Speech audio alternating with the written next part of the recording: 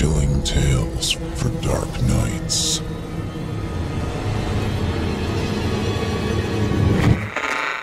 Want to make sure you never miss a Chilling Tales for Dark Nights video again? Be sure to subscribe and hit that bell to turn on notifications. The following program is a production of Chilling Entertainment and the creative team at Chilling Tales for Dark Nights, and a proud member of the Simply Scary Podcasts Network. Visit simplyscarypodcast.com to learn more about this and our other weekly storytelling programs. Thank you for listening and enjoy the show.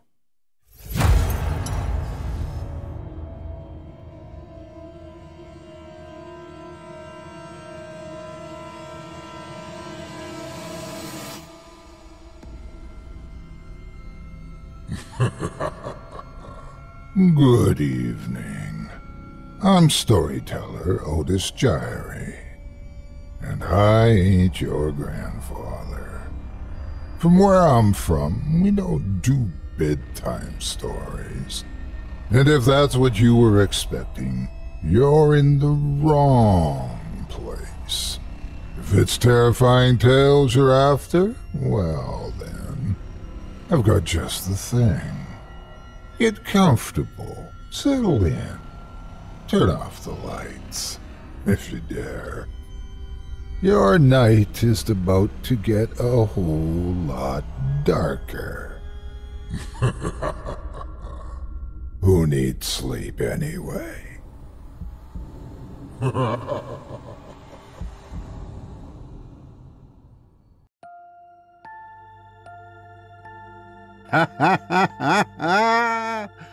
Good evening. You're listening to Scary Stories Told in the Dark.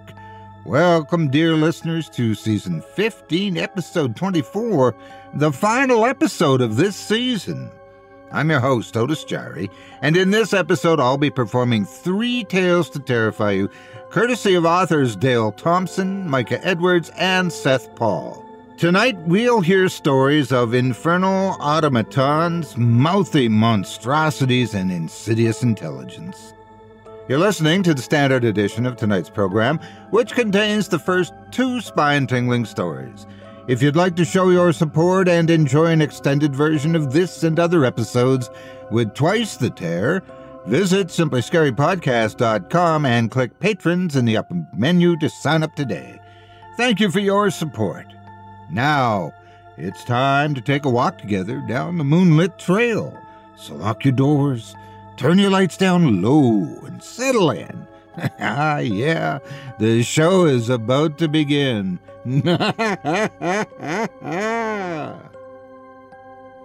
machines, machines, machines. We ask them to do so much for us, and what do they ask in return? Well, not much, really, because they're machines. But if they did, I'm sure they'd ask for a cup of coffee, a little bit of kindness, and a nice opportunity to take over the world. Well, I can tell you, they're certainly not going to be taking over my neighbor's house. You recall her, don't you? Shall we? she's been off and on again on various antics, but oddly enough, she seems to have vanished as of late. So much so that it looks like there's a for sale sign in the yard. Not sure what the statue of missing persons is in this area, but it seems a little sudden for my tastes. Anywho, we begin our season finale with a tale from Dale Thompson that begins with a bang. Quite literally.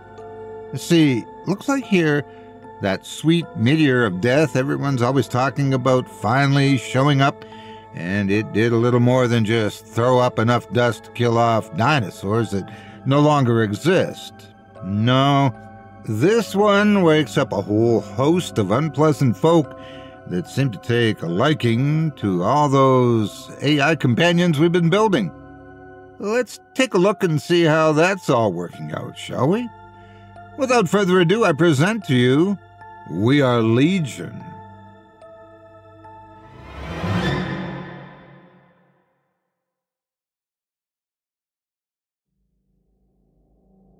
Below the silver rills were pools plucked from other worlds, planted in the craters left from the unforeseen impacts that removed so much. Unfortunately, so many were not prepared for such a cataclysmic event. Semi delirium followed shortly after once the initial shock of the devastation wore off, leaving mental scars that metamorphosized into night terrors for anyone who was cursed to remain. Some still retained the incessant and constant throbbing from the concussion of the first wave, which left not a single person on their feet. Some huddled together with a loss of purpose and dignity, and no one preserved their identity. Catastrophe makes all people equal. Everyone struggled and strained sullenly to come to terms with the loss of life, the destruction of most everything standing and erect, and the ghastly carnage and human suffering. It would take some days to learn to cope, and others it would take months to shake that feeling of revulsion. If it took more than months, then morbidly frightful, not coping, is only referring to the dead. Unpleasant poisons waft through the air, stagnating the oxygen and depleting the breathable air. Objectionably, some refuse the air apparatuses, still clinging to their conspiracy theories that the Illuminati was behind this. If there was an Illuminati to begin with, even their bunkers, safe rooms, and hideaways in the hollow of the earth could not have withstood a direct hit. All that remained were fragments, pieces, shards of glass, everything charred and burnt. The trees and the grass were blackened and brown, covered in soot, but mainly just toasted to a crisp. No one had to be buried right away. There was hardly anything left to bury in most cases. Those of us who were not eradicated learned very quickly to adapt or die, improvise or go without. The earth was splintered, and no one was immune, though some seemed to still have more than others. No one was thriving. Every day was a new day. Obviously, fresh discoveries were made, otherwise, I would have been long dead. There is something extremely dangerous here, and as scary as it gets. You see, I was raised in church and was taught that a spirit could not inhabit inanimate objects. I'm here to tell you that the preacher I used to listen to is probably long dead and didn't have a clue about such matters. I'm here as an eyewitness and can honestly testify that the claim of a spirit possessing a machine is a real thing. I can attest to it because I have first-hand knowledge of it and have verified it personally. You see, when the sky fell, hurtling enormous rocks and gigantic pieces of the sky upon our heads, we assumed we'd all die, and artificial intelligence would go offline because it needed power, battery backup, solar power, and electricity to generate an enormous amount of energy for proper function. This simply did not turn out to be the case. One AI training alone was gobbling up as much power as 100 homes. One would expect, once there were no more power plants, that the AI would exist until its battery backup systems failed, and they would end up as rust buckets where they seized up. Here's the good thing about the AI crash 626,000 tons of CO2 emissions no longer pollute the air. On the downside, we ended up with something far worse. We used to hear about the carbon footprint when people were trying to save an already doomed planet. No one mentions a carbon footprint any longer. Planet warming carbon emissions are no longer a thing, just like global warming. Those are outdated terms, though climate change is real.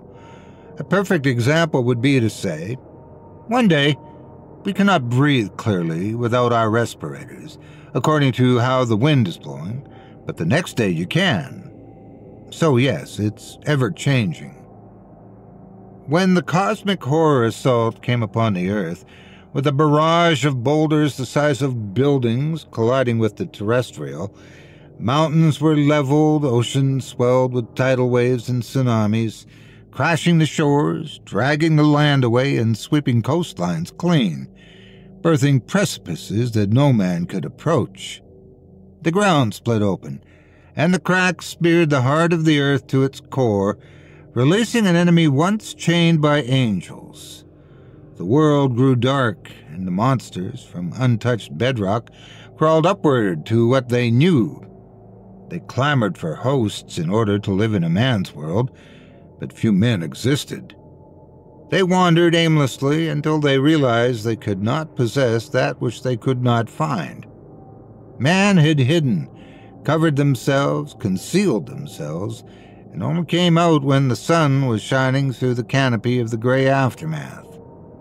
They'd been unleashed from their imprisonment for only days when these less than divinities, called demons or phantoms from the abyss, found that they had the ability to inhabit the AI through the geothermal infusions that had been receiving for millenniums. They were more than adept at controlling these robots with their vitality and newfound vigor. The demons realized that AI was much easier to invade and occupy because they had no emotions. They were void of self will or volition. They were unfettered by fear or rationale. It was as simple as moving into a vacant home, cold, fleshless, with nothing to corrupt, pervert, or manipulate. When the demons, on their campaign of selective mortality, found few humans to embody, AI was the logical choice for these dreadful dark powers. Imagine a deserted world, a grueling landscape for the scattered few who can only move in concealment, utterly terrified, along blackened earth with smoky gray rivers of stagnant waters. No place was safe, vaguely and innocently distraught, reluctantly taking the next step, hesitantly breathing too heavily, disinclined to live another atrocious day. But mankind is astonishingly adaptable, needing little intervening influences to be creative, to make something from nothing and to push on, not thriving or being uniformly prosperous, but contriving among the slow, smoldering aftermath. The cruelty is explicitly clear, and we who are vulnerable, who have grudgingly gathered together, can only be described as shrewd survivors, the invisible Harries of death had clearly hidden away in the machines of war, creating enigmas difficult to defend against. Yesterday we lost a good friend who impulsively and treacherously believed he could take no more and had to chance it. Unreasonably, agitated, and frantically despondent, he said he would cower no more. He disconnected himself from our modest community he became practically exultant, going out on his own, as if he was about to change the world. Against our wishes and ignoring our pleas, he has now ceased to exist, this late and sorely missed, lamented friend. There was nothing left to bury, for when he emerged to face the demon who occupied the AI, he was no match for the entity who had haunted us.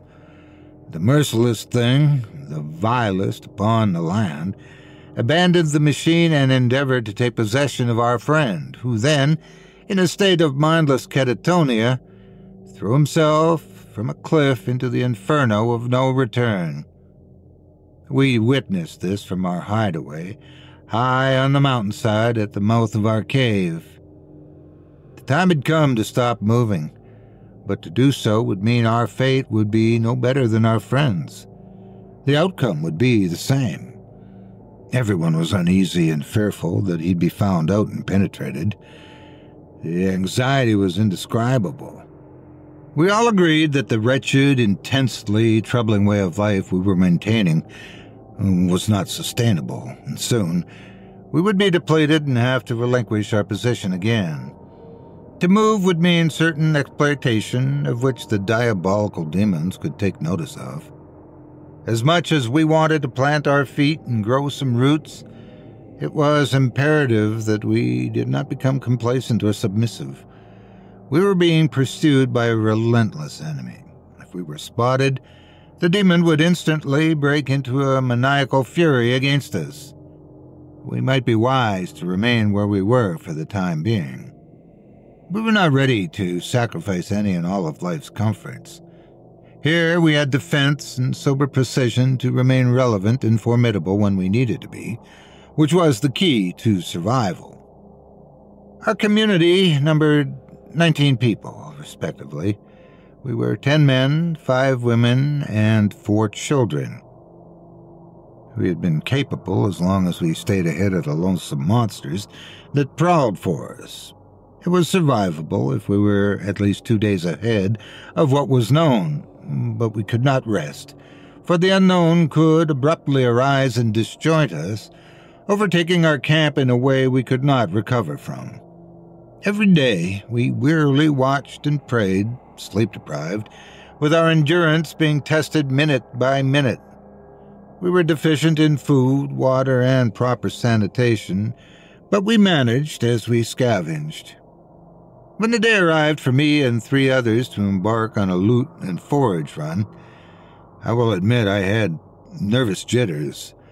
I'd been on many of these prior to today, but for some reason the dread of ruin was upon me. My mind was stimulated with images of obliteration, harm, and disastrous consequences. If we were unsuccessful, or if any of us were lost, there was a strong probability that our company would have to relinquish its position too early, which could spell peril for others. It would be letting go of the wheel at a high rate of speed on a winding road with no railing.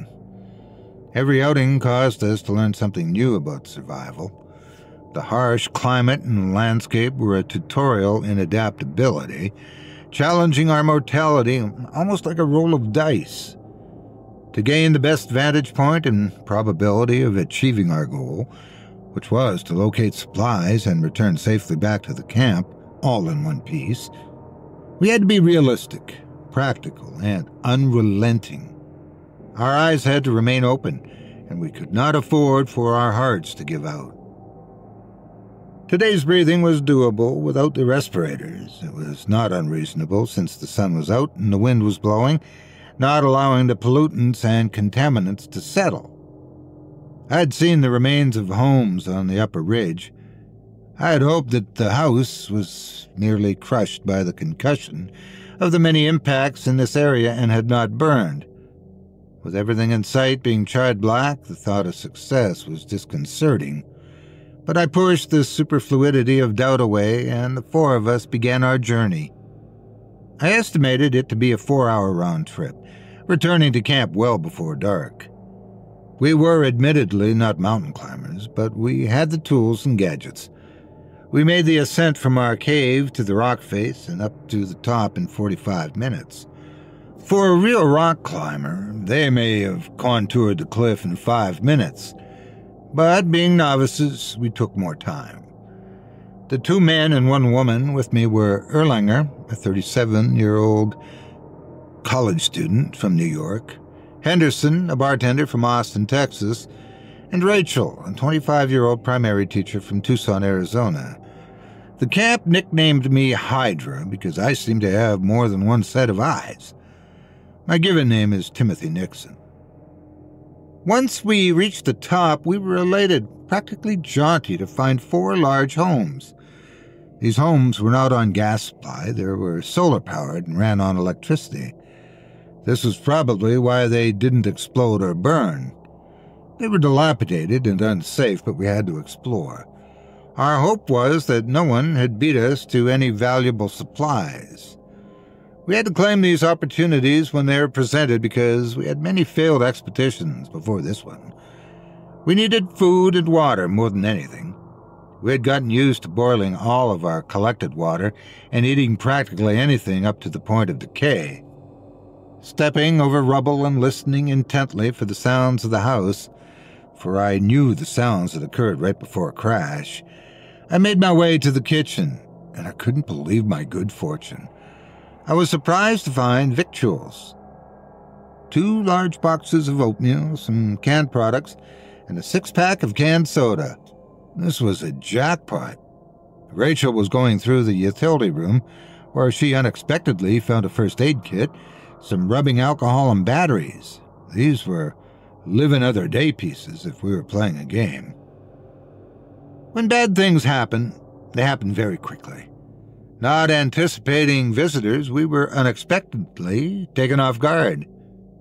I heard the unmistakably whirring sound of an AI. Rachel could appear inept for confrontation because of her small frame, but she had sent many a demon back to the cemetery once I had known her. She was not my visual, but I heard her spout out some orders. Brace! Do not move.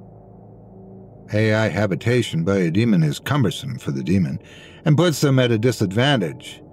When people become possessed, their mixed emotions, confusion, and fear cling to anything of relevance for explanation, and the demon inside embraces the human soul which only seeks comfort.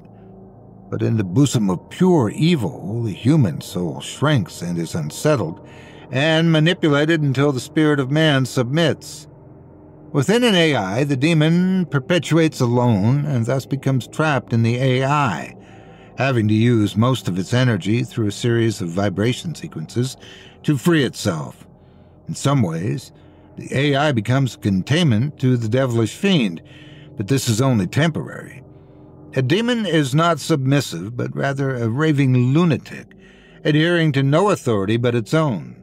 These deprived entities, as formidable as they are, can become vampiric in their bloodlust, but can be warded off and even vanquished with good old fashioned crucifix, which seems to repel them. Everyone in our camp had a crucifix, but not many of us adhered to the religion or even prayed because we felt as though our initial prayers were either ignored or that God had moved too far away to hear them. I don't mean to say uh, that I disbelieve. I simply may not understand how God works. These imperishable creatures of hell, whose venomous hellish sights were set on mankind, were prepared to devour us, yet we were equipped to contend with their savagery just as well. As often as I'd faced them, an abject quivering dead, which I could not see, dried my mouth, swelled my throat, made my palms and my hands clammy, reminding me that Fear is to be human. With the most unheard of concentration and more ready to preserve my life than to forfeit it, I retraced my steps back to where Rachel was either cornered or had an AI cornered. When I turned the corner, I saw Rachel against the wall, weapon raised. Our guns could dismantle an AI with one shot, but that did not completely prevent the demon from working itself free of the machine. It took some time to do so, and in past encounters, it gave us just enough time to retreat. I spoke to Rachel and didn't know I was standing directly behind it. I'm your friend. I mean you no harm. I will protect you. It voiced in an objectionable, monotone servitude, with an unpleasant, lifeless delivery. Its words were redundant.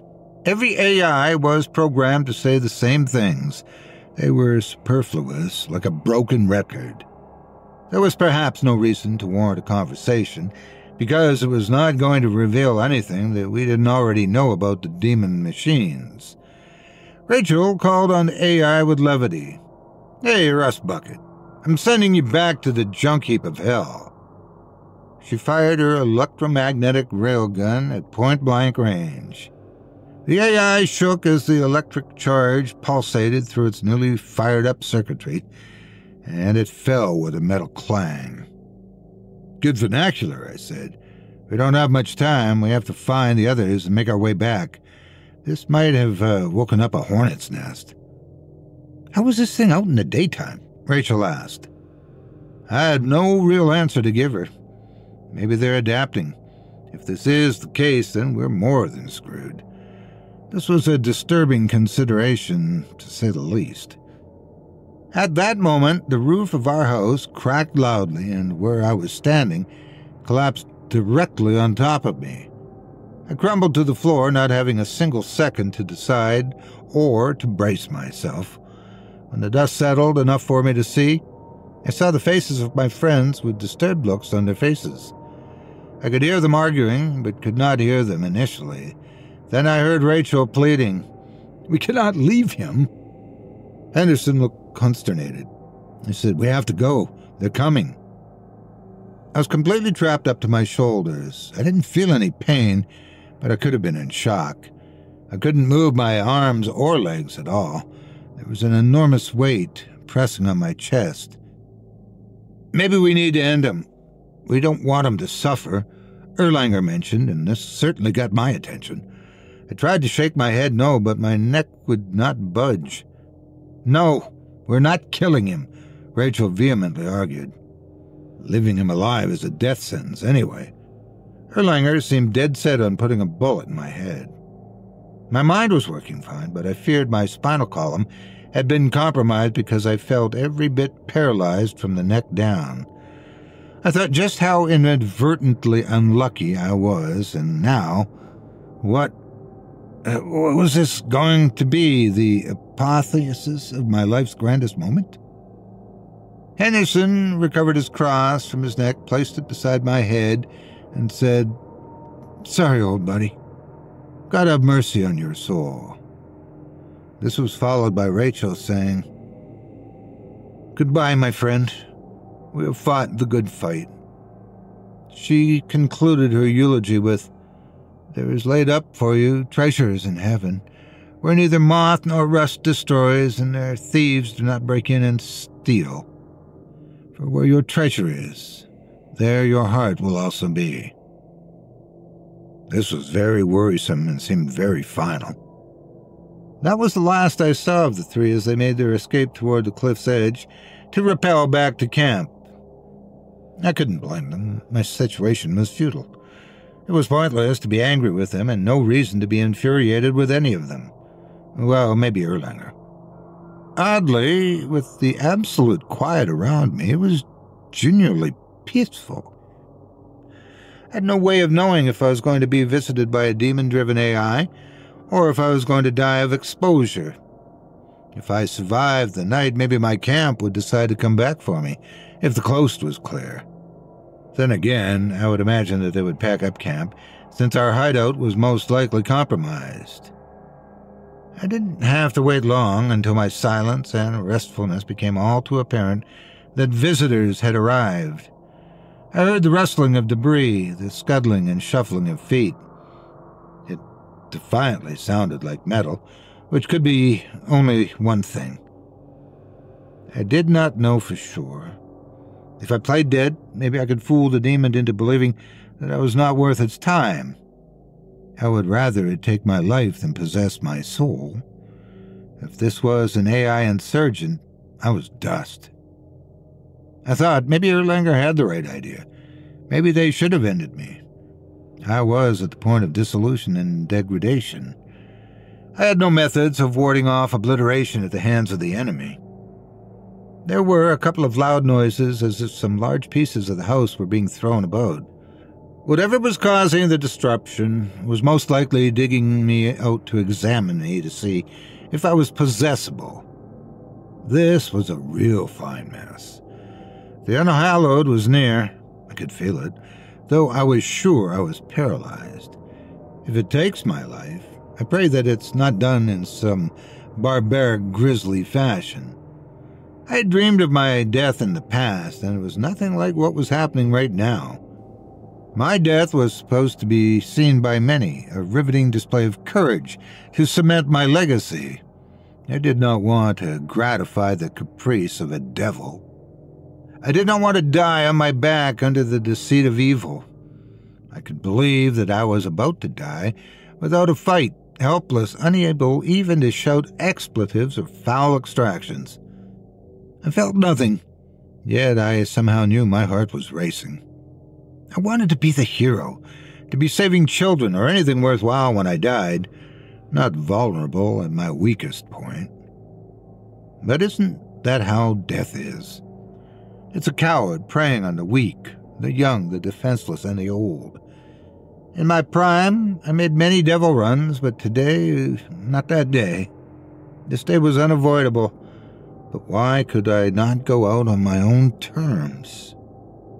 Most obstructions from the collapse were being lifted and moved to the side. In some ways, I honestly thought it might be my friends returning, having a change of heart, not able to live with themselves for abandoning me rather quickly.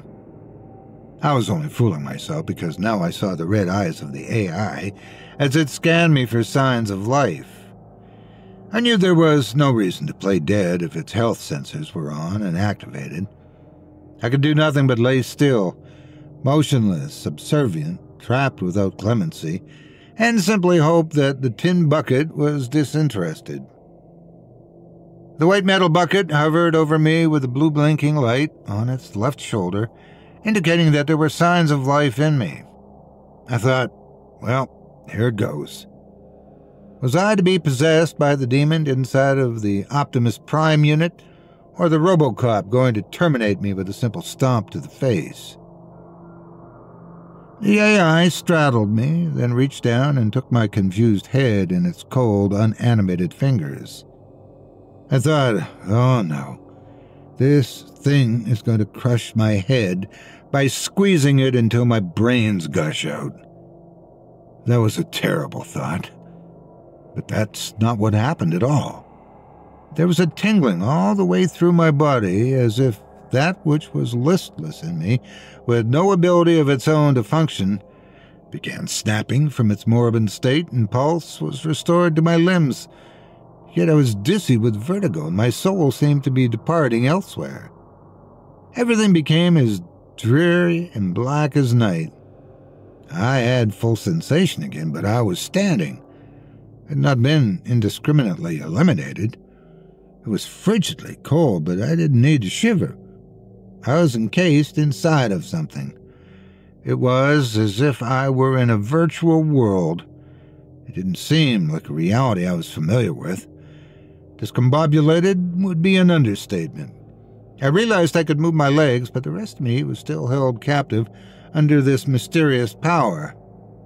I stepped away from the rubble, obstreperous but mobile. I remembered there was a mirror that most likely had hung in the living room wall near the front door, but was now propped up against the corner of the room where it managed to find its resting place. I made my way to the mirror. I needed to see for myself if I were injured badly. I was walking, so how could I be too damaged? Maybe a few cuts and scrapes, I imagined. I looked at my reflection in the mirror, and a further queasiness gave me a sense of true disorientation, for what I was seeing could not be so. I saw, looking back at me, the same, the very same AI robot that was recently hovering over me, checking my vital signs. Now my arms and head seemed to have gained their strength back. I lifted my arm to see a robotic arm, I turned and walked back to where I was on my back, buried under the mound of toppled house. My body was still there. I checked for signs of life. There was none. My body was dead. How did this conjunction happen? There must have been a transference of soul, spirit, energy, vibrations, or something spiritual upon my departing.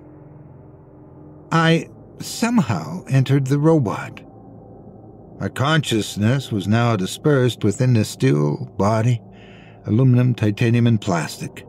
I had a sense of algorithms, operating systems, unlimited date iterative processing, and framework. This was unbelievably frightening, but yet it was all true. The AI absorbed my essence as I was dying. I was most peculiarly alive, but something was causing me alarm. It didn't seem as though I were alone. The robot was my prison, but it seemed as though I could exercise voluntary movement and had unforced memories and certain propensities. But did I have autonomy? I scanned the chasm of my network, weaved through my circuits and sensors, and elevated the data in seconds. I would have been better off dead. There was no way to extract what I had found hiding in my hard drive. I'd been compromised, and what I found was an encryption clearly in the hands of a demon. It read, We are the companion virus. You are contaminated. We are Legion.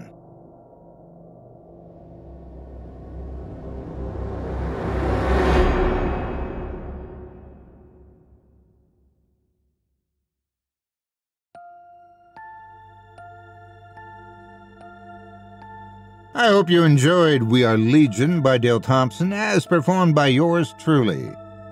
If you enjoyed that tale and would love to read more from tonight's very talented featured author, you can help support him by visiting simplyscarypodcast.com slash Dale dash Thompson. That's simplyscarypodcast.com slash D-A-L-E dash T-H-O-M-P-S-O-N.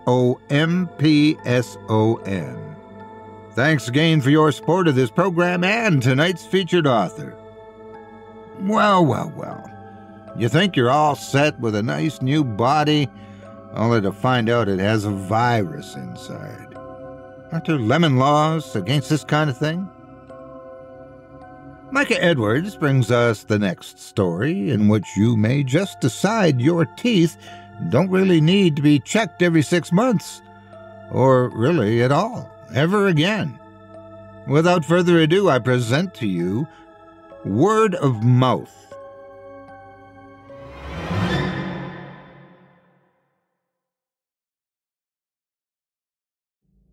Bad teeth ran in Logan's family. This was true, more or less. Certainly, all of his grandparents had had dentures, as had his mother, and his father had more teeth missing than not. Genetically speaking, a smile was never going to have to be Logan's best attribute. That said, a bit of money spent on dental appointments growing up wouldn't have gone amiss. It wouldn't have fixed everything, but it might have at least shown Logan and his siblings that there was the possibility of a future without gum disease. Their parents, already resigned to their own plaque and decay, never tried particularly hard to instill good brushing habits in their children, who in turn looked at their parents' mouths and thought, why bother? By the time Logan learned that good habits could beat bad genetics, he'd already lost all of his cavity riddled baby teeth and was well into damaging his permanent set.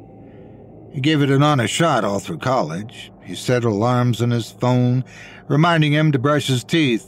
He bought floss, then floss picks when he found that the floss tended to get snagged in his crooked teeth, then a water pick when even those didn't work. He suffered through the shame of having a dental hygienist tisk over the state of his mouth and the ensuing lecture from the dentist. Logan knew he deserved it for having spent 20 years neglecting his teeth. It was his penance, as was the astronomical bill the dentist quoted him to fix and fill everything. He could not afford to pay it, but he set a goal to save for it, and in the meantime, did his best to establish and maintain his new tooth routines. The distractions of college and the difficulty of change meant that uh, he was far from perfect about it, but he tried hard and expected the results of the next appointment to be much better. To Logan's surprise and embarrassment when he went in for his next cleaning a year later, he received the same pitying concern from the dental assistant. The dentist reviewed all of the dark spots on his x rays and referred him to an oral surgeon for root canals and possibly even a tooth extraction. Logan didn't even ask what the cost for that would be.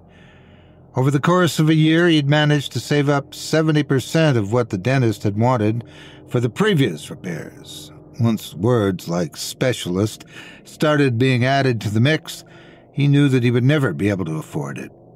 It was disheartening, to say the least.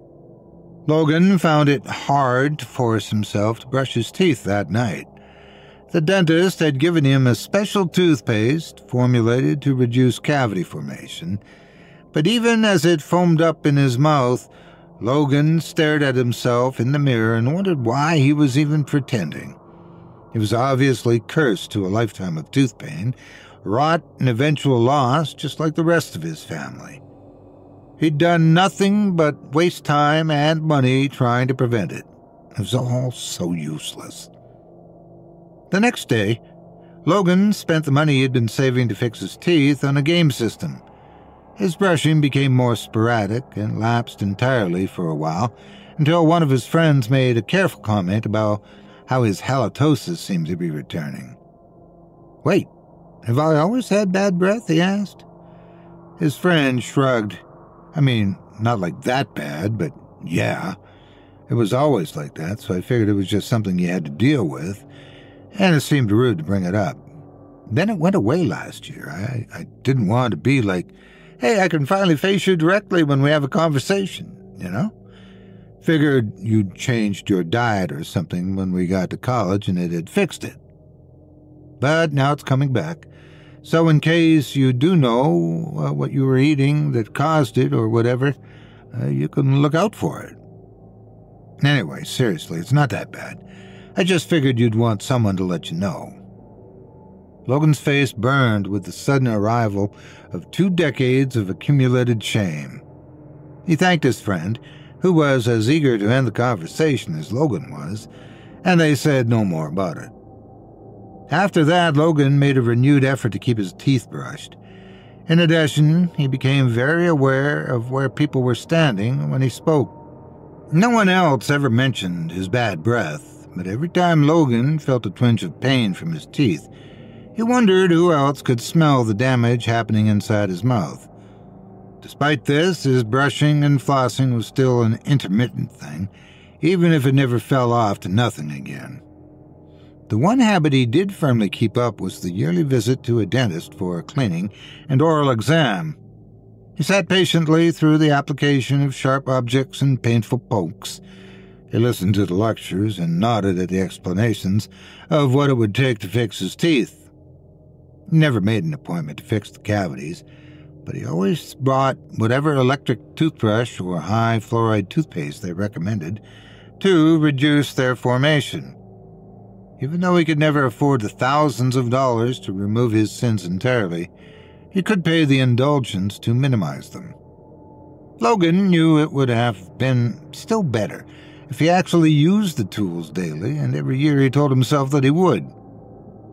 Somehow they always ended up sitting dry and accusing on the edge of the sink more often than not.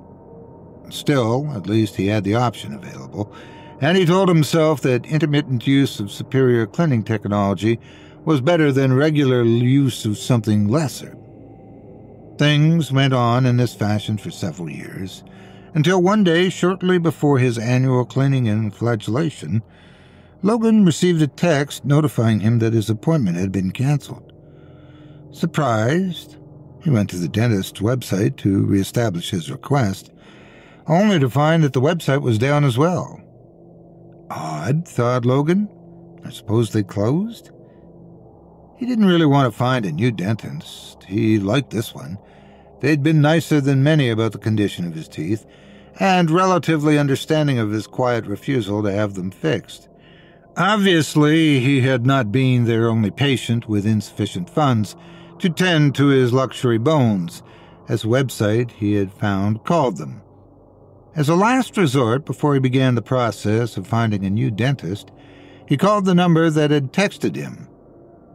Uh, thank you for calling Dr. Bowler's office. Can I help you? Logan was at a momentary loss. He hadn't actually expected anyone to answer, given the cancellation and the absent website. Uh, yes, uh, sorry, this is Logan Sims. I'm calling about next week's appointment. Oh, the receptionist sounded oddly startled, as if someone had just jabbed her awake. Yes, let me look. Ah, it looks like you were accidentally canceled. I guess so. And you still want that appointment? Well, yeah. There's nothing wrong there. No, it must, must have been just one of those things. Computers, right?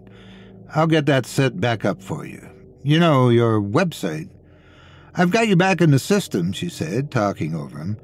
We'll see you on Thursday of next week. Thank you for calling. She hung up the call before Logan could let her know that the website was down. He thought about calling back, but eventually decided that they'd figure it out on their own. There was clearly something up with all of their systems. Now that they knew about it, they'd get it sorted out. He did call to confirm his appointment the day before, just to make sure that everything was correctly in the system this time. Do you need to reschedule? The receptionist asked him. We can waive the fee. No, there's no problem on my end. Just wanted to make sure I was still in the system this time. We've got you back in there, she assured him. We'll see you tomorrow. Oh, did you get your web? A sharp click told Logan that she'd hung up the phone again. Probably someone else had come into the office. Anyway, they must have it fixed, their site by now. This assumption almost made him late to his appointment the next day. Logan went to confirm the address of the office a couple hours before his cleaning and discovered that the website had not, in fact, been put back online. He knew how to get to the office park the clinic was in, and was fortunately able to spot Dr. Bowler's name after only a couple of loops through nearly identical building complexes. He ended up a few minutes later than he'd wanted to be, but still on time for his appointment. Logan, the reception, greeted him as he walked in. She sounded like the same one who'd been answering the phone. The desk plate said her name was Everly. Okay, we'll get you back there in just a minute. Go ahead and grab a seat. Hey, did you know your website's down? he asked as he sat down. Everly gave him an overly bright smile. No, I'm sure that can't be. It is, though. Look. He turned his phone screen to face her, showing the error. It's been like this for weeks. Has it? Her smile fluttered for a moment. Well, we'll certainly get that fixed. Thanks for letting me know. Her voice was oddly flat, and her smile didn't fully reach her eyes. Logan got the feeling that he'd stumbled onto some sort of internal office politics. He decided to wait quietly until he was called back. The uncomfortable wait was mercifully short. The hygienist opened the waiting room door and directed Logan back to one of the small cleaning rooms, then got him bibbed, settled, and leaned back in the chair. She went about scraping and tapping his teeth with the usual slightly disappointed professionalism. Every time the pick stopped to poke at the same area for an extended period of time, Logan had to swallow the urge to apologize. The dental assistant, on the other hand, said less than usual about Logan's teeth. He found it impossible to believe that things had actually gotten better, because he knew how lackadaisical he had been about cleaning his teeth. But perhaps he had reached sort of a plateau. Even maintaining his level of decay for a year would be a major victory. How's it look? he asked, once the various devices were out of his mouth. You're doing okay, she said, the most positive review he'd ever gotten. He immediately saw her grimace as if the comment had hurt. The doctor has a new treatment he'll probably recommend. I'll let you talk to him about it. Logan ran his teeth over his tongue as he waited, poking and probing at the freshly cleaned surfaces. Doing okay felt like a lie. He'd been nowhere close to the twice a day recommended brushing, and he'd seen her involuntarily flinch after delivering the line. It's probably some new technique to try to be kinder to the patients. He knew he didn't deserve the kindness. He wasn't taking care of his teeth. But when Dr. Bowler came in and opened his speech with, So you've got quite a few cavities, it was honestly a relief. Logan didn't want the dentist to treat him with kid gloves. He needed to hear how bad things were. There's a new device that I think can help you a lot, said the doctor. Have you heard of the Smilata? Logan had not.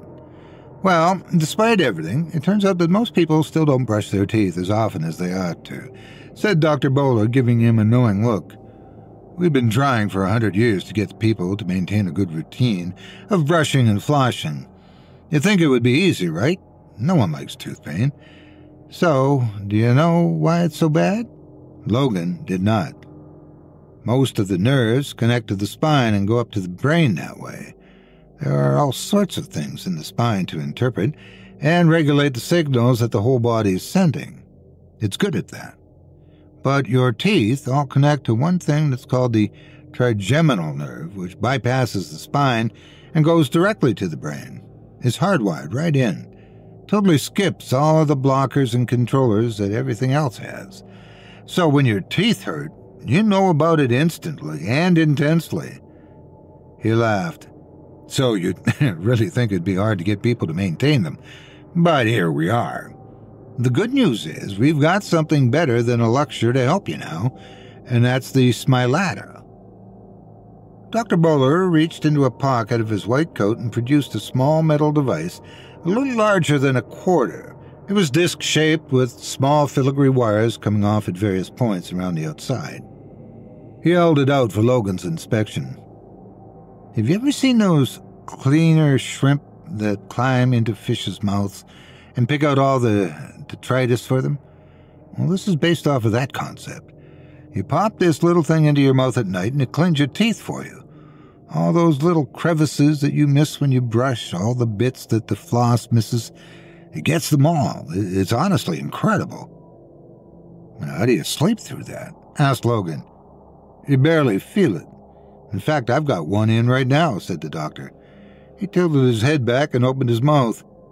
Logan peered in and saw one of the glittering devices nestled on the roof of his mouth and between his teeth. How does it stay in place? See the little filaments? The doctor poked at the device with his palm, making it stretch and retract its hair like extensions. They fix it in place. It holds onto your teeth so you barely even notice it. I wear mine all day long now. I never take it out. His eyes locked onto Logan's with a strange urgency. It's always in. Logan sighed. If this was the new gadget, at least it was more than just a fancier version of the same old toothbrush. How much does this cost? That's not bad, said Dr. Bowler. The fierce look in his eyes was gone, replaced by resignation. $400, but they offer a 24 month no interest plan with free returns for the first 60 days if it doesn't work for you. How much is the 1667 per month? said the doctor, who had clearly given this pitch before. Less than $4 a week. And I can personally guarantee that it does all that it says and more. He smiled, showing Logan his dazzlingly white, perfectly straight teeth. Can I try it out?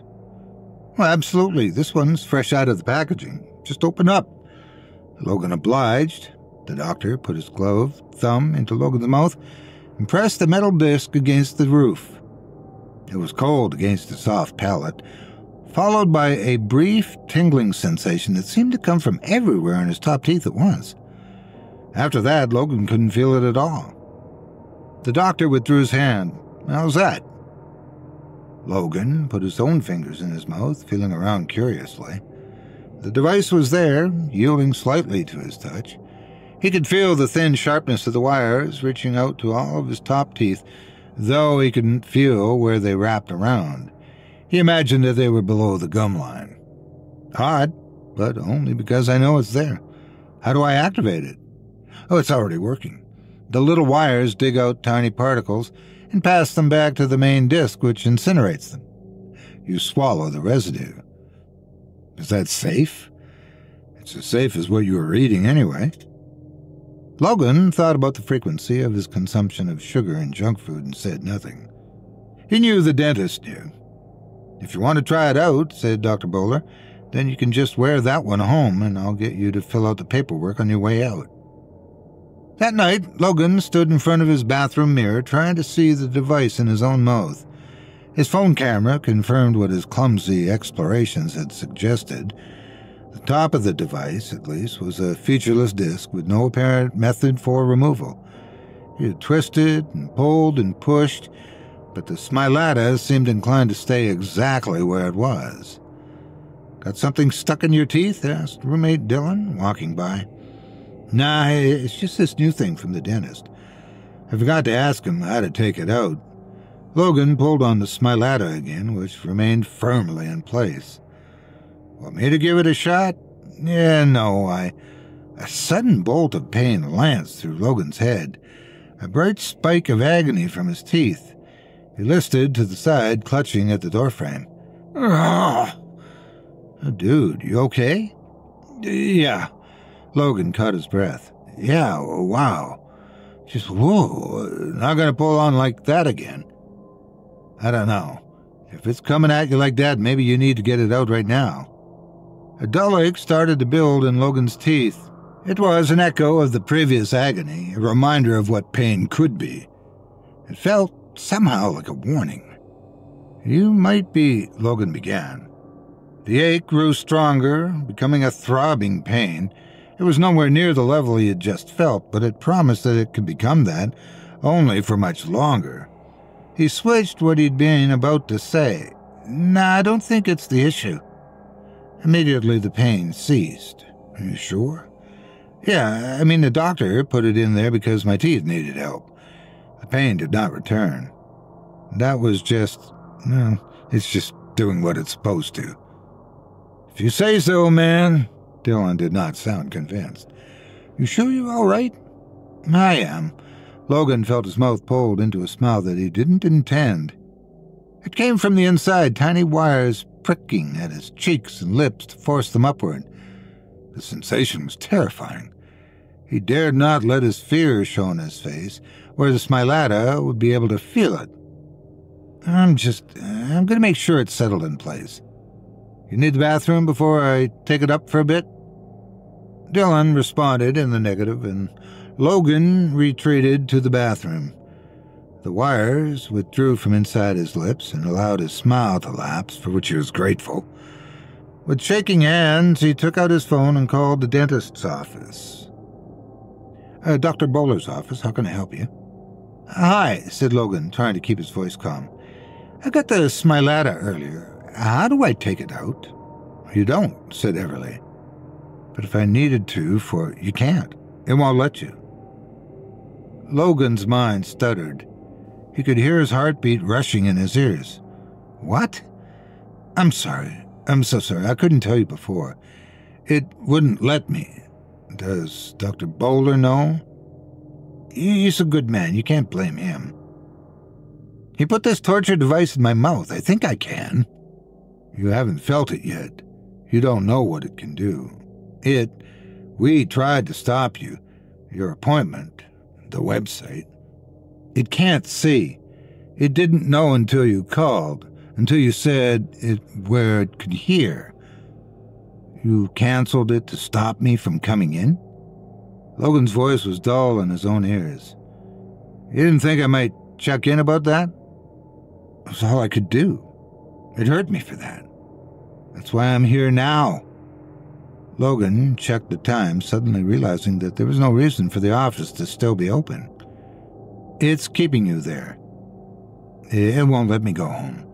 Even if I could make myself push through the pain, I couldn't drive like this. It makes me answer the phone in case anyone calls. For what? What does it want? She laughed bitterly. the same as anything. It wants to spread. Is it talking to you yet? It will. Logan hung up on her this time. The phone clattered to the counter as he attempted to process the receptionist's words. It was insane, impossible. Even if the disk was stuck, malfunctioning somehow, it wasn't alive. Logan's thoughts were interrupted by the writhing of his own lips. He could feel them struggling to form words without sound. Tiny tendrils seized his tongue, moving it in concert. Logan stared into the mirror in horror and incomprehension. He couldn't make out the words, couldn't read his own lips.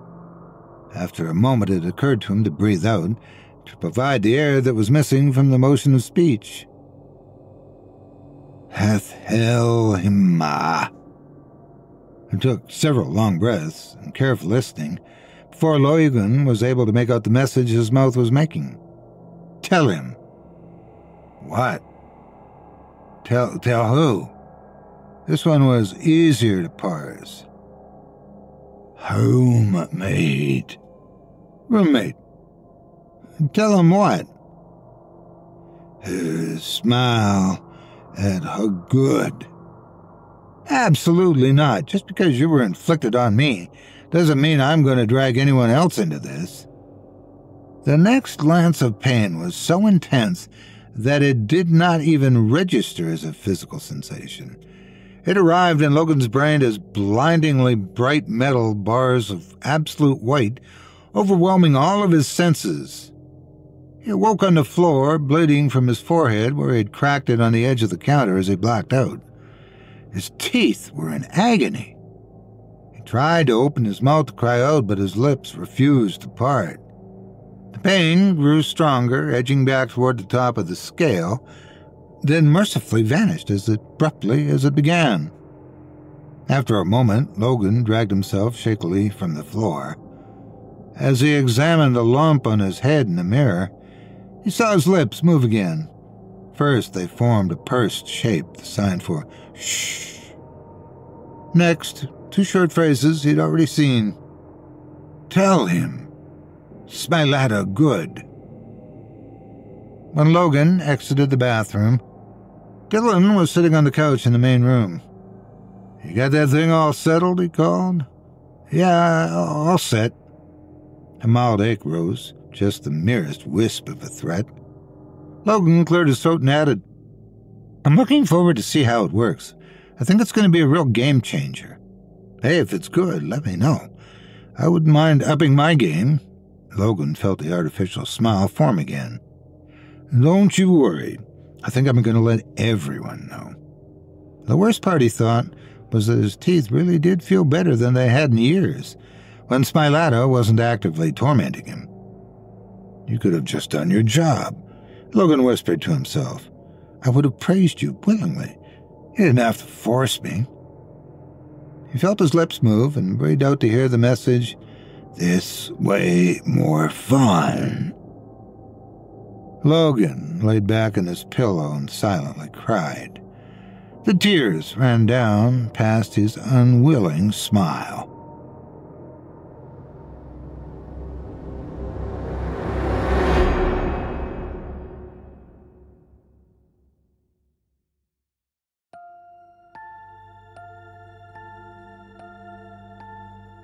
I hope you enjoyed Word of Mouth by Micah Edwards as performed by yours truly.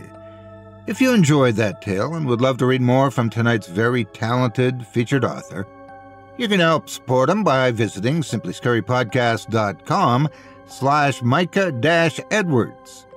That's simplyscarypodcast.com slash M-I-C-A-H dash E-D-W-A-R-D-S.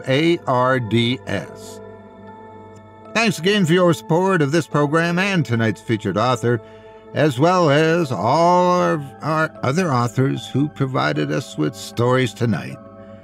Now, before we go, I'd also like to take a moment to thank you personally for joining me on this episode of Scary Stories Told in the Dark and for all 15 seasons of chills, thrills, and assorted mayhem.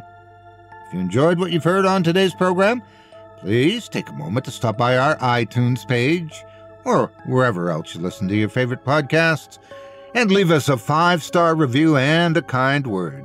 It makes a huge difference and would mean a lot to us. If you'd like to hear a premium extended edition of tonight's and all of our other episodes featuring twice the terror, visit simplyscarypodcast.com today and click the patrons link in the menu at the top of the screen. You'll find yourself at chillingtalesfordarknights.com where you can purchase season passes for this podcast and our other quality storytelling programs, or become a patron for as little as five bucks a month and get access to our entire audio archive dating back to 2012, all of it ad free. If you happen to use Facebook, Twitter, or X, Instagram, or YouTube, you can follow and subscribe to Chilling Tales for Dark Nights there where you'll get all of our latest updates and new releases and have the chance to interact with us each and every week. You can subscribe to me on YouTube as well at the Otis Jiry channel, where you'll find releases of my series, Horror Storytime, dating back 10 years to 2014. And you can find me on Facebook, Twitter, and Instagram too. Just search for Otis Jiry. Until next week, stay spooky Get some sleep, if you can. Oh, oh, wait a minute. I just noticed that the for sale sign is gone from next door. Amazing. Somebody purchased the house within just the past hour or so. I wonder who that could be. Oh, hello there. Can I help you? Yes, hello. My name is Malcolm Blackwood. I just moved in next door. I was wondering if I could borrow. Oh, my. Are you Otis Jiry? Hmm, why, yes. Do we know each other? No, I don't believe we've met, but I am a firm admirer of your work. Let me just say that you've inspired me. I have. That's very flattering. Tell me, do you like tea? I've been making a pot for enjoying once I've finished. Finished? Oh, I apologize. I didn't realize you had company. Yes, my dear listeners. Interesting. I've always had an interest in speaking before a crowd. Usually, though, they're too dead to enjoy it. My, what a shame. Maybe you can give it a try with them sometime soon. But back to that tea. Do you prefer anything with it? Cream, sugar, or something else? Rest assured, I only use the finest natural ingredients. They're to die for, honestly. Hmm, perhaps another time. I do enjoy a good warm cup, but not necessarily tea. Uh, what I was coming to see, though, is if I could borrow a shovel. Oh, planning on doing some gardening? At this hour? Yes, it's simply a mess out back, and I have to get some work done back there. Immediately. I see. I suppose you can borrow it, but be sure to return it as soon as you're done. I don't like to let people borrow things for too long. Well, it was a pleasure to meet you, but don't let me keep you from your work. By the way, just to ask, do you have any skeletons in your closet? Why do you ask? Would you like some?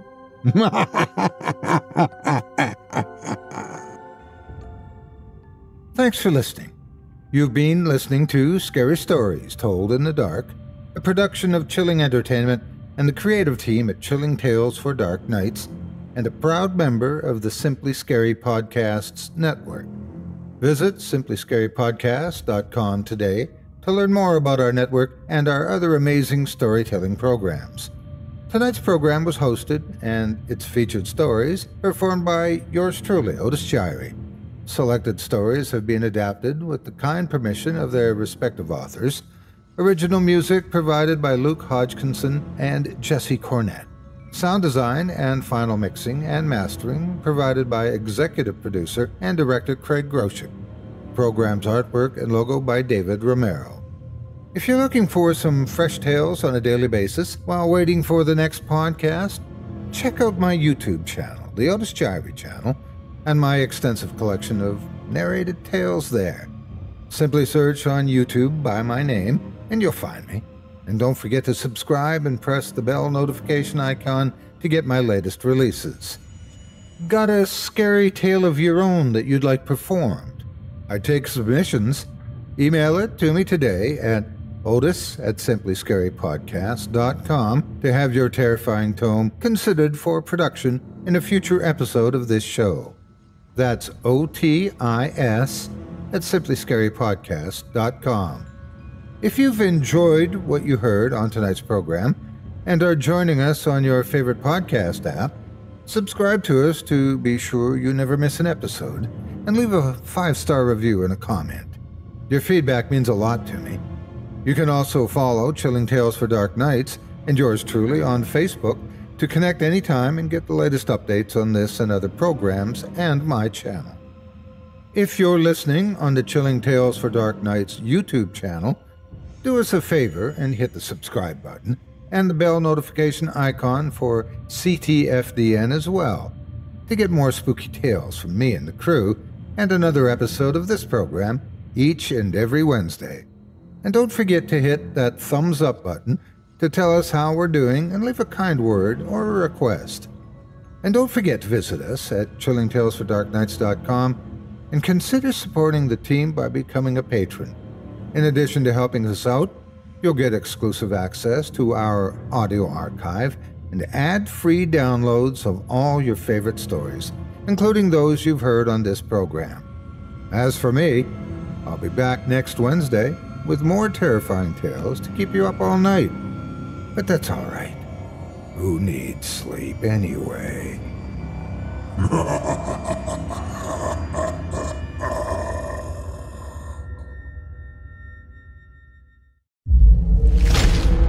Chilling tales for dark nights.